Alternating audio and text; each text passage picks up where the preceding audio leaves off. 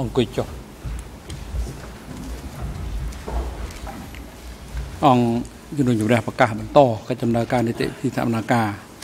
តទៅនេះផ្ដល់វិធីការជូនទៅក្រមសហមេធាវីការពីក្តីលោកខៀងសំផនដើម្បីមានឱកាសដាក់បង្ហាញឯកសារកន្លឹះពាក់ព័ន្ធជាមួយនឹងអង្គហេតុសហគមន៍ត្រាំកក់និងក្រាំងតាច័ន្ទ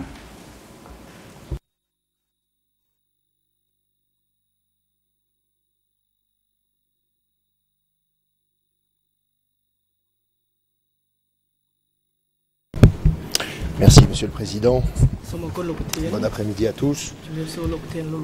Je vais décliner ma présentation en plusieurs parties. D'abord, j'ouvrirai mon propos par euh, une lecture, plutôt une relecture des euh, douze commandements moraux que s'étaient donnés les Khmers rouges bien avant 1975. Ensuite, j'aborderai la question des coopératives en citant des documents relatifs à la conception qu'on avait de le pouvoir Khmer rouge, mais également à l'histoire euh, de leur création. J'évoquerai en troisième partie des documents relatifs à l'estimation des décès dans la région de Takiro de Tramkak. Puis je terminerai mon propos, si j'en ai le temps, je l'espère, par l'évocation de problèmes liés à la question des cadres locaux. Pour ce qui concerne les douze commandements moraux, qui à notre sens montrent à quel point le peuple était mis en avant par les Khmers rouges, placés au centre de leurs préoccupations. On est bien loin de l'anarchie, de la destruction, mais on se trouve bien dans une,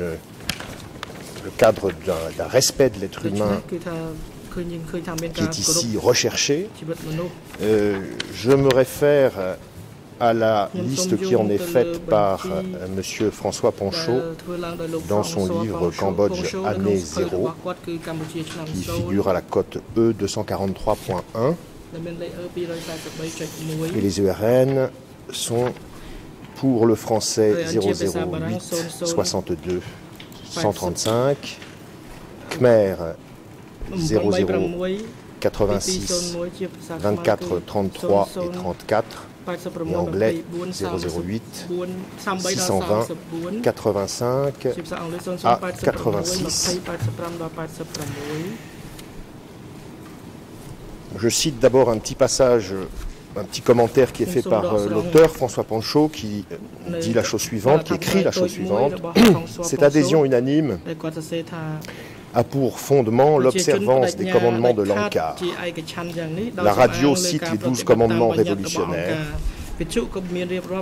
Les réfugiés qui avaient fui les zones libérées en 1973 connaissaient déjà ces commandements. Les soldats Khmer Rouges qui gardaient l'ambassade de France au lendemain de la libération de Phnom Penh les récitaient chaque matin. Commandement 1. Le peuple des ouvriers et paysans tu aimeras, honoreras et serviras. Commandement 2, le peuple tu serviras où que tu ailles, de tout ton cœur et de tout ton esprit. Commandement 3, le peuple tu respecteras sans porter atteinte à son intérêt, sans toucher à ses biens, ni à ses plantations, en t'interdisant de voler ne serait-ce qu'un seul piment, en te gardant de prononcer la moindre parole offensante à son égard. Commandement 4.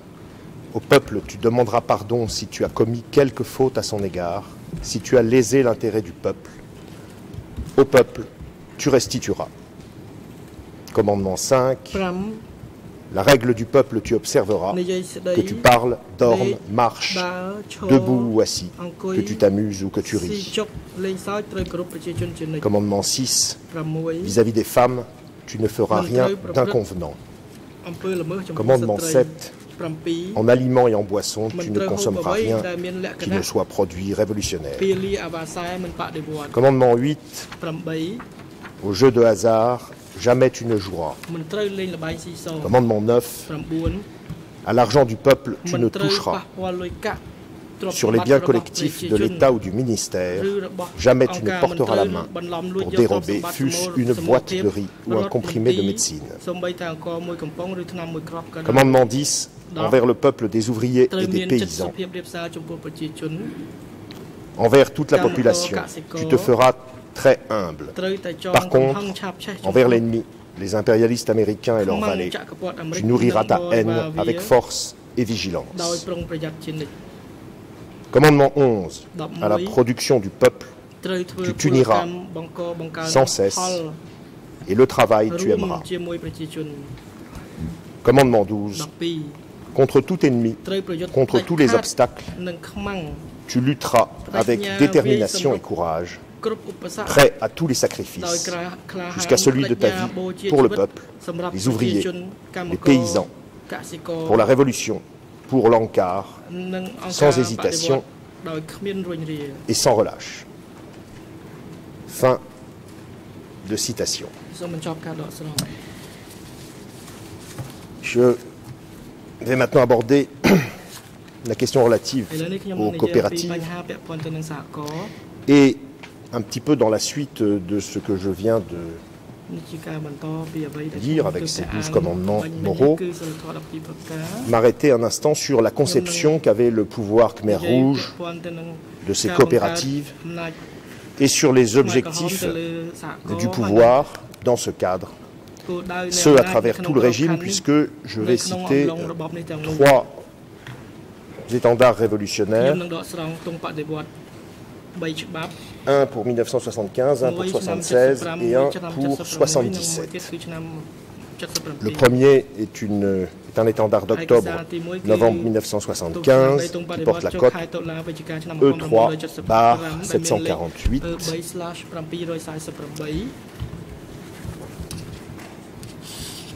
Je vais citer d'abord euh, l'ERN, la page portant l'ERN français 004 99 693, anglais 004 95 810, Khmer 000 63 248. Je cite, il s'agit d'un paragraphe qui vient sous le titre Quelques problèmes relatifs à la construction de l'économie, de l'agriculture et de l'industrie du parti. Il est écrit en paragraphe 5 Les médicaments et la santé de la population. Pour que le peuple soit en bonne santé, pour qu'il soit en bonne forme, il est indispensable que les médicaments soient à leur disposition pour soigner leurs maladies. L'institution de la santé doit s'attaquer à trois problèmes qui existent couramment. Premièrement, il faut supprimer l'origine du paludisme de façon radicale, entièrement en l'espace de trois ans, à partir de 1976 jusqu'en 1978. Deuxièmement, il est impératif de supprimer le paludisme qui existe couramment par les médicaments. Troisièmement, il faut soigner au fur et à mesure les différentes maladies telles que le choléra, la variole, la varicelle, etc. Je voudrais passer à une autre page du même étendard révolutionnaire qui porte le RN français 00 499 701 Khmer 000 63 258 Anglais 004 95 818 Sous le titre il faut renforcer la position du combat dans la constitution des moyens de subsistance des habitants. Il est écrit Aujourd'hui, demain et dans les jours qui vont suivre, chaque membre du parti doit avoir bien en tête constamment la nécessité de subvenir aux besoins de la population, les besoins en, nourriture, bien entendu, les besoins en vêtements, en logement, en remèdes, en médicaments, jusqu'aux besoins en termes d'éducation et de loisirs. Ce devoir et cette idéologie sont une morale prestigieuse de tous les communistes.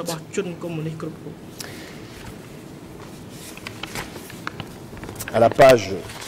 suivante,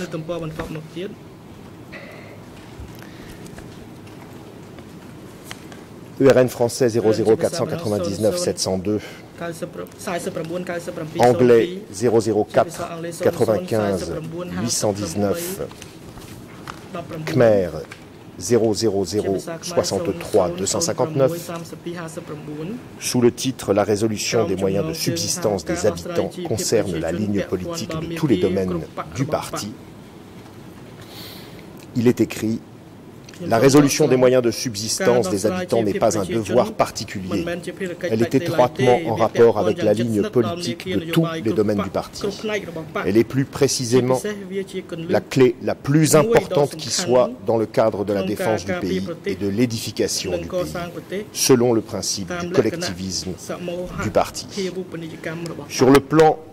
politique, si nous parvenions à assurer les moyens de subsistance de la population, la force et la santé du peuple vont s'améliorer au fur et à mesure. Par ailleurs, les habitants vont se réjouir en soutenant le pouvoir révolutionnaire et le parti. Cela signifie que si le peuple avait droit à de la nourriture, à des vêtements, il pourrait vivre heureux et il soutiendrait le pouvoir révolutionnaire de plus en plus solidement. Et les ennemis n'arriveraient pas à l'anéantir. Il est donc impératif de gérer parfaitement le peuple, de réfléchir sur la politique, sur l'idéologie et sur le commandement, et d'assurer tous les moyens de subsistance de la population. Je saute un paragraphe pour passer à celui qui figure sous le titre 2 sur le plan économique. Il est impossible de séparer la politique de l'économie. Si le peuple avait de quoi se nourrir et de quoi se vêtir, ses forces physiques augmenteraient, tandis que les travaux de riziculture et les travaux dans les usines se développeraient également à la même intensité à ce moment-là ils seraient à même de cultiver du pain, de tisser des jus.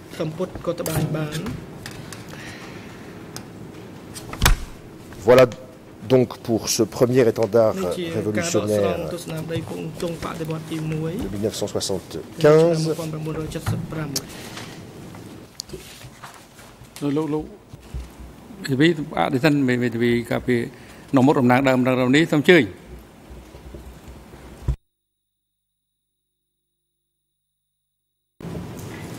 Je vous remercie, Monsieur le Président. Ce n'est pas une objection, mais si je, ne dis pas ce que je souhaite dire maintenant, je ne le dirai jamais. Nous avions l'intention de présenter un certain nombre de documents nous-mêmes sur la politique, des coopératives. Nous avons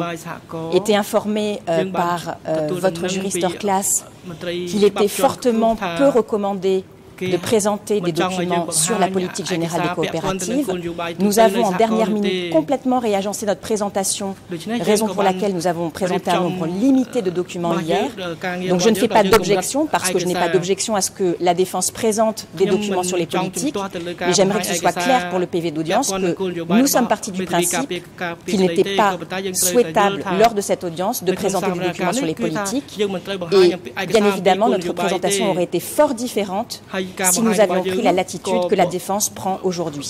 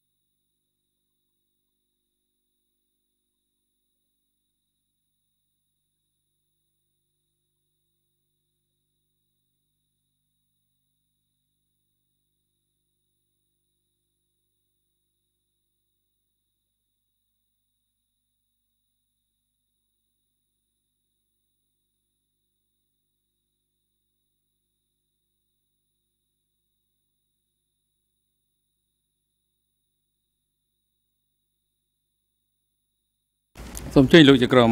សំមកឡើងវិញ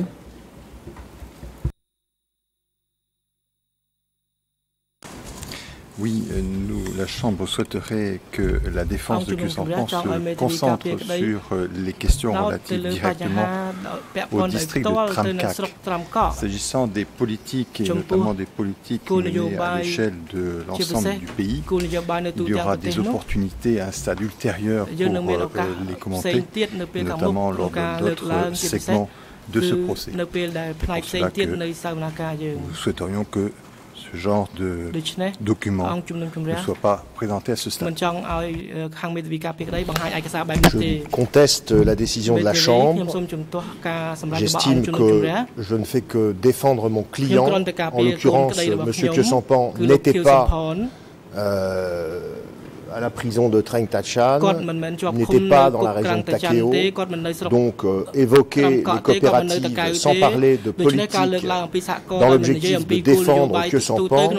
je vois difficilement comment je peux faire autrement que de vous présenter des documents qui concernent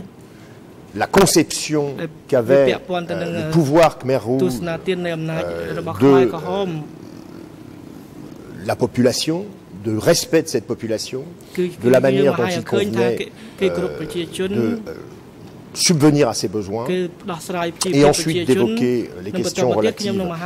à l'histoire de création de ces coopératives, les problèmes qui s'y sont posés. Bien évidemment, vous l'avez entendu avec la présentation tout à l'heure de mon propos, il y a également des points qui seront évoqués, qui seront spécifiquement relatifs à des questions de quantification du nombre des décès dans cette région. Mais là, je crois que je suis dans le, le sujet, je suis dans la mission qui est la mienne, c'est-à-dire la défense de que sans pan, et pas autre chose. Donc si vous m'interdisez aujourd'hui à ces audiences, à cette audience à laquelle la défense participe à reculons, parce que vous le savez, lors du premier procès, nous avions eu beaucoup de mal à accepter l'idée d'audience qui nous était d'abord présentée comme des audiences destinées au public et à la presse. Aujourd'hui, nous avons décidé de participer à vos audiences car vous avez prévu euh, du contradictoire avec cette journée de réplique. Donc c'est la raison pour laquelle nous avons décidé de participer à cette présentation en faisant l'effort qui a été fait par les parties civiles et l'accusation de ne pas plaider aucunement, euh, mais là, si vous m'interdisez maintenant de parler, euh, de citer des étendards révolutionnaires relatifs à la politique et à la conception qu'avait euh, le pouvoir Khmer Rouge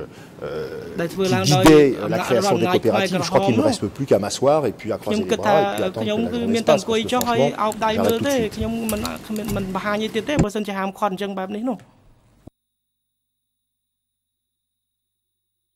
សូមជ័យលោកជាក្រុមសមត្ថឡាវែង Maître Verken, la Chambre n'entend pas du tout contester votre droit de défendre euh, M. La Chambre souhaite simplement attirer votre attention sur le fait que ce procès comporte plusieurs segments. Un des segments concernera le rôle des accusés et aussi les politiques mises en œuvre dans le cadre de ce qui est allégué être une entreprise criminelle commune. Dans le cadre de ces politiques, il y aura les politiques concernant les coopératives. Donc, simplement, ce que nous voulons vous dire, c'est que ce n'était peut-être pas aujourd'hui le moment le plus approprié pour présenter des documents qui se réfèrent, semble-t-il, à un segment ultérieur du procès. J'entends bien, mais les coopératives, ça ne me semble pas être un segment ultérieur du procès. Donc, euh... Mais écoutez, Maître Verken, on vous dit qu'il s'agit aujourd'hui de Tramkak et de Kreng Tanshan. Il ne s'agit pas des coopératives à l'échelon national. Eh bien, à ce moment-là, bon après-midi à tous.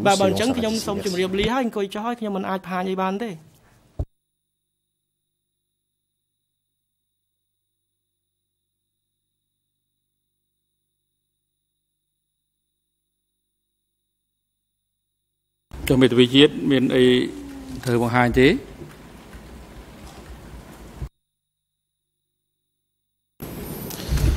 Euh, ខ្ញុំអត់មានអីត្រូវបង្ហាញទេប៉ុន្តែខ្ញុំសូមជូនយោបល់តាក់ទងទៅនឹងការជជែកអំបញ្ញមិញនេះអឺខ្ញុំយល់ឃើញថាអ្វីត្បិតតែពេលនេះយើងជជែកអំពីក្រាំងតាច័ន្ទនិងសហគមន៍ត្រាំកក់ក៏ដោយក៏ប៉ុន្តែនៅក្នុងក្រាំងតាច័ន្ទ ក្តីនៅក្នុង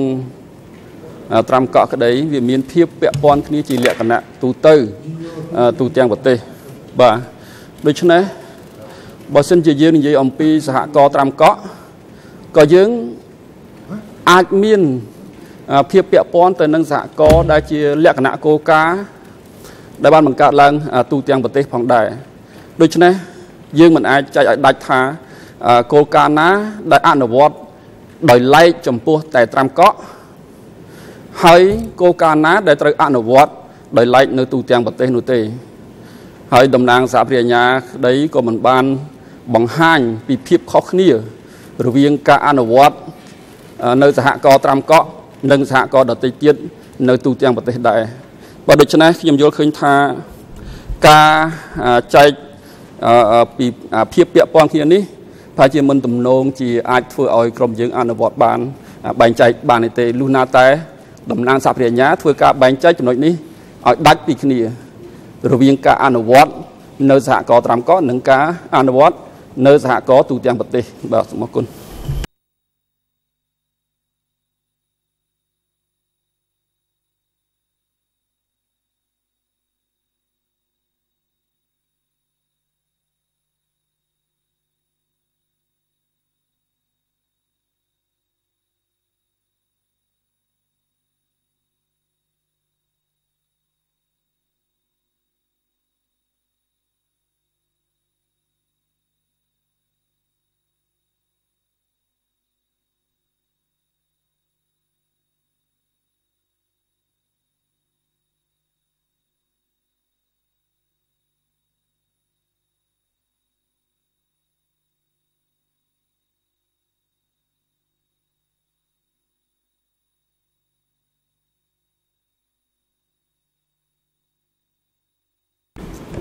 Monsieur le Président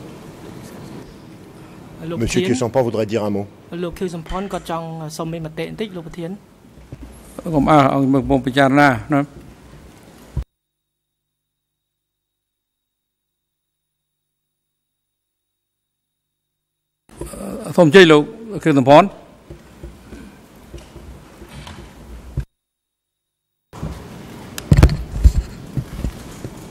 បាទសូមជម្រាបអរគុណលោកប្រធាន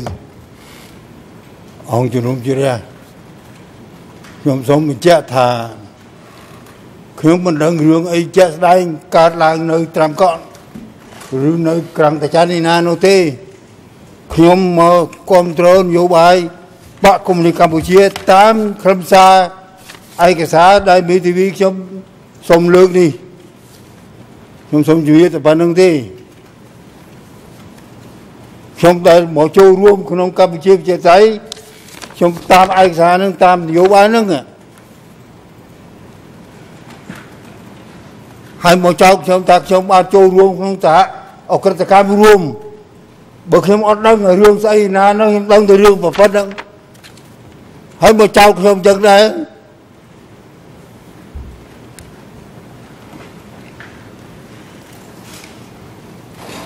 ធំធំជ័យថារោងអន្តរជាតិ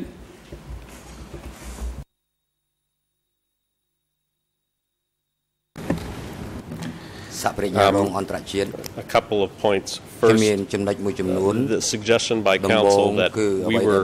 presenting on general policy relating to cooperatives I'd like to know what what uh, he is referring to. I just looked through my list of documents. They were all specifically related to Tramcock. Um, as you heard, the civil parties were precluded from doing exactly what defense wishes to do now. Um, a second, uh, with regard to Mr. Q Sampan's assertions, ការអះអាងរបស់លោកខៀវសុផនខ្ញុំចង់ដឹងថាតើគាត់លះបង់សិទ្ធិដើម្បីរក្សាភាពមនុស្សភាពស្ងាត់ឬក៏យ៉ាងម៉េចឬក៏ថាគាត់បានដឹងអ្វីខ្លះដែរអំពីស្រុកត្រាំកក់ឬក៏ដឹងអំពីគោលនយោបាយនេះពាក់ព័ន្ធនឹងស្រុកត្រាំកក់ និងទី3ខ្ញុំសូមរំលឹកដល់មេធាវីការពារក្តីថាមេធាវីការពារគ្នាបានចំទាស់ម្ដងហើយម្ដងទៀតចំពោះសហប្រញ្ញាជាពិសេសនិងប្រធានរបបទៅនៅស្រុកត្រាំកក់និងជាពិសេសគឺនៅអង្គរកានិងចំពោះខ្មែរក្រម except when they get on their feet now they want to talk about ឥឡូវនេះគាត់ថាគាត់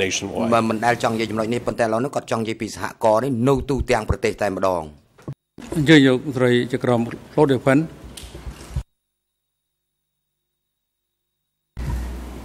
Let me make an attempt to de-escalate that.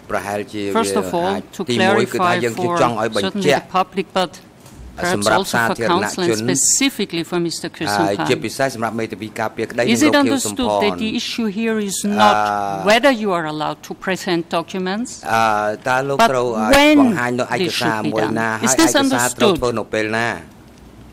If so, បើសិនបើយ៉ាងដូចនេះមែន back where it belongs and that's organization គឺវាពាក់ព័ន្ធទៅនឹងអង្គការ question is when do we hear ទីមួយគឺថាយើងត្រូវស្ដាប់ and when it comes to this ឯកសារទាំងអស់នេះនៅពេលណា did council ហើយបើវាដល់ពេលនោះថាតើមេតាវីការមេតាវីការពារក្តីមានបានអានអ៊ីមែលមួយដែលយើងបានផ្ញើទៅសហមេតាវីនាំមុខដែរឬក៏អត់ដែលក្នុងអ៊ីមែលនោះគឺថាអង្គជំនុំជម្រះពេញចិត្តនៅក្នុងពេលនេះ concentrate on documents related to Kram Tachang as opposed to policies which may be discussed later with an opportunity to present those documents. បាទពេលនោះគឺថាមេធាវីការពាក្យក្តីគឺថាមានឱកាសត្រូវធ្វើបែបនេះ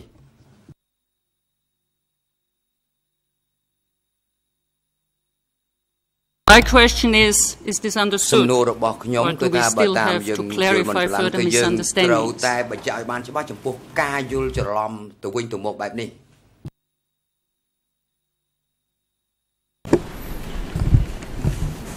La première chose, c'est qu'on ne cesse de nous rabâcher euh, ici à longueur de temps lors des audiences de mise en état qu'on ne sait même pas euh, si ce deuxième procès ira à son terme. D'accord Donc c'est quand même quelque chose qui, était, qui a été dit plusieurs fois. Euh, on nous a pressé, on a ce, le grand procès initial, cette ordonnance de clôture initiale en plusieurs procès, justement parce qu'il y avait risque de ce que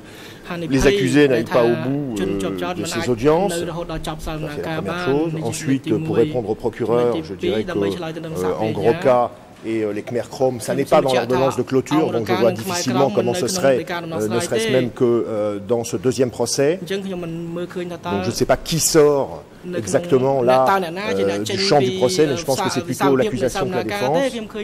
Ensuite, pour ce qui concerne très exactement ce que Madame le juge Fens vient de dire,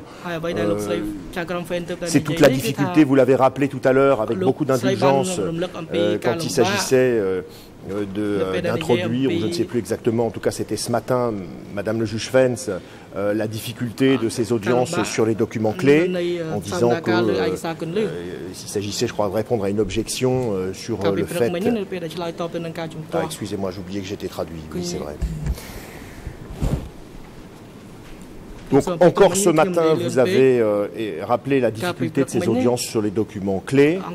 Pour nous, ces audiences étaient totalement inacceptables dans la première version que vous aviez euh, mise en place dans le premier procès. Aujourd'hui, elles le sont parce qu'il y a une possibilité de réplique. Nous avons fait, il y a les documents que je cite, on est quand même sur de l'étendard révolutionnaire. Je ne viens pas euh, vous citer euh, des documents qui sont euh, nouveaux pour qui que ce soit. J'évoque des problèmes qui concernent la défense de Que Sampan, qui concernent sa responsabilité, qui concernent son adhésion à certains principes et à certaines valeurs, et les raisons pour lesquelles Euh, bah, alors maintenant, vous ne voulez pas que j'évoque ces points maintenant, eh bien je ne les évoque pas. Toute mon intervention d'aujourd'hui, elle était liée, elle était d'un seul bloc. Donc puisque c'est comme ça, je considère que euh, je dois m'arrêter ici et puis euh, éventuellement, si Dieu prête vie à M. Kyosampan et à sa, son équipe de défense, euh, eh bien moi ou d'autres, euh, un jour prochain, euh, évoqueront ces questions devant vous. ទៀតនោះខ្ញុំក៏នៅតែបន្តលើកពីចំណុចនឹងដដែលនៅចំពោះមុខអង្គជំនុំជម្រះបើមិនឲ្យខ្ញុំលើកនៅថ្ងៃនេះនោះ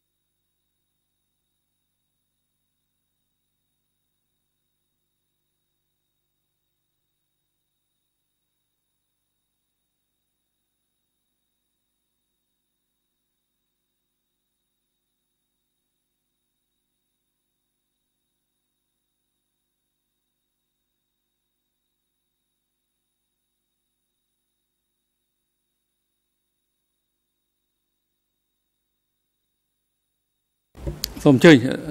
លោកចក្រមសមត្ថឡាវែង Oui, merci Monsieur le Président. La Chambre souhaite euh, souligner ce qui suit. Il, s'agit pour elle d'assurer une égalité de traitement entre toutes les parties, et notamment en ce qui concerne la préparation de ces audiences sur les documents clés. La Chambre note que dans le cadre de cette préparation, elle a été saisie d'une demande par la co-avocate pour les parties civiles, la co-avocate principale pour les parties civiles, et tendant à clarifier justement quel type de documents pouvait être présenté. La Chambre a répondu à Maître Guiraud et cette réponse a été communiquée à l'ensemble des partis, y compris euh, Maître Guisset, Maître Verken et euh, les euh, assistants travaillant dans leurs équipes de défense. Donc aujourd'hui, ce qui me surprend, c'est que la défense de Sampan soit surprise de euh, l'attitude de la Chambre, parce que cette, ligne euh, de présentation de documents était connue avant l'audience d'aujourd'hui. Voilà, donc, euh, sauf si l'équipe de Sampan souhaite présenter des documents qui concernent plus précisément district de Tramkat ou Krem Tanchan, eh bien, nous serons euh, contraints de mettre un terme à la présentation par cette équipe de défense.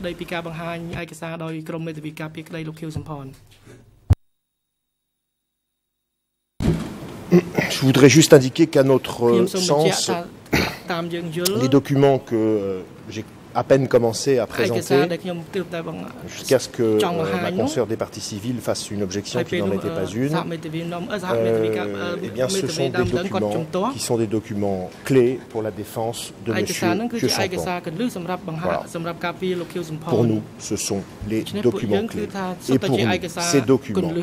sont des documents clés dans la compréhension de la responsabilité, dans l'appréciation de la responsabilité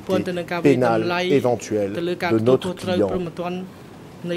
dans le sujet qui nous préoccupe aujourd'hui, dans le cadre qui est celui de cette audience sur les documents. Voilà. Donc effectivement, si la Chambre estime que ça n'est pas le cas, eh bien nous considérons que euh, nous pas à participer plus avant puisque de toutes les manières, l'interdiction nous en est faite. Maître Verken, encore une fois, je pense que vous déformez les propos de la Chambre. Nous n'avons jamais dit que ces documents n'étaient pas des documents clés pour la défense de que s'en pense. C'est une question de préparation et c'est une question de temps. J'aimerais savoir si oui ou non vous avez été destinataire du message de la Chambre à Maître Guiraud concernant la préparation de cette audience. Si vous l'avez lu ou non, et pourquoi éventuellement vous n'avez pas réagi. Si vous considérez que la position de la Chambre était inappropriée. Je vais même vous relire très exactement le texte de votre réponse, de la réponse de la Chambre, en anglais, je m'en excuse, en accent. The parties have considerable latitude as to how they wish to utilize the time allocated to them for presentations on key documents. At this stage, however, the trial chamber would be most assisted by presentations on key documents relating to events in Tramkot district, presentation of evidence relating to events which occurred elsewhere may generally not be directly relevant or at least not timely. Donc oui, j'ai bien lu ce mail, monsieur le juge, mais je ne l'ai pas considéré comme m'interdisant d'évoquer, si vous préférez, en forme d'entonnoir euh, à partir de Monsieur Kyosampan, quels étaient du point de vue de sa responsabilité pénale, les raisons qui lui avaient fait euh, participer à un régime qui a abouti à ce que, euh, dans les régions qui nous préoccupent aujourd'hui, des coopératives, notamment puisque j'étais justement sur ce thème-là, euh, soient créées. Donc, vous considérez que ce mail est particulièrement clair euh, en ce qui constituerait une interdiction à la défense euh, très claire d'utiliser de, des documents sur euh, les politiques concerne très directement M. Kyusampan. Euh, nous, nous considérons que euh, c'est capital pour la défense de notre client en ce qui concerne très justement l'objet du procès et cette phase du procès sur euh, les coopératives et sur ce centre voilà, Nous ne sommes pas d'accord, je ne suis pas d'accord avec l'analyse de la Chambre sur les conséquences qu'il convenait de tirer de, cet email et j'estime que c'est anormal d'interdire à la défense de Kyosankan de présenter les documents clés qu'on avait l'intention de présenter aujourd'hui dans le respect des règles que toutes les parties se sont imposées. Just the last. It, would appear that everybody but the Kusamkang defense has understood the email the way it was meant. I give it to you, the language is polite, it doesn't order, បានយល់អំពីអេមេលក៏អត់ទេភាសានេះគឺជាភាសាមួយដែលមានការគួរសមមែនទែនហើយទោះជាយ៉ាងណាក៏ដោយភាគីដទៃទៀតគឺថាបានយល់អំពីអ៊ីមែលនេះយ៉ាងច្បាស់លើកលែងតែមេធាវីការពារក្តីរបស់សម្ព័ន្ធដើម្បីជៀសវាងកុំឲ្យមានមានការយល់ច្រឡំ you are allowed to present documents លោកត្រូវបានអនុញ្ញាតឲ្យបង្ហាញឯកសារជាក់លាក់ណាមួយនោះ so this is not an issue ជាពិសេសគឺពាក់ព័ន្ធទៅនឹងពេលវេលាថាតើពេលវេលាដែលត្រូវឲ្យបង្ហាញនៅពេលណា neglected this is an issue of the chamber organizing the trial លោកក្នុងការការពារកូនក្តីឬក៏អង្គជំនុំជម្រះ all the parties equally គឺថាភាគីទាំងអស់មានសិទ្ធិស្មើស្មើគ្នាទេ the last question is ហើយសំណួរចុងក្រោយដែលខ្ញុំត្រូវសួរគឺថាក្នុងការ pretty so much everybody heard about this email អាចយល់បានមានការយល់បានច្បាស់ទេចំពោះ email នេះ relevant to Krang Tachang មានឯកសារពាក់ព័ន្ធទៅនឹងក្រាំងតាច័ន្ទដែរឬទេដើម្បីធ្វើការបង្ហាញនៅក្នុងថ្ងៃនេះ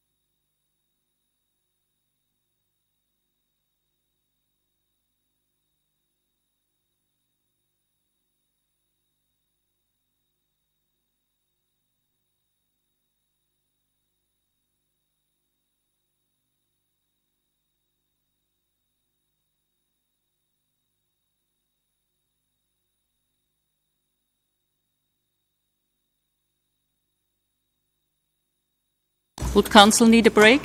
to sort through his documents តើមេធាវីការពារក្តីត្រូវការពេលសម្រាប់សិនដើម្បីពិនិត្យមើលឯកសារទាំងអស់នេះឬក៏យ៉ាងម៉េចត្រូវការរយៈពេលប៉ុន្មានដែរ5 minutes simplement je voudrais pouvoir en discuter avec mon client បាទខ្ញុំត្រូវការរយៈពេល5នាទីដើម្បីពិភាក្សាជាមួយកូនក្តីខ្ញុំលោកប្រធាន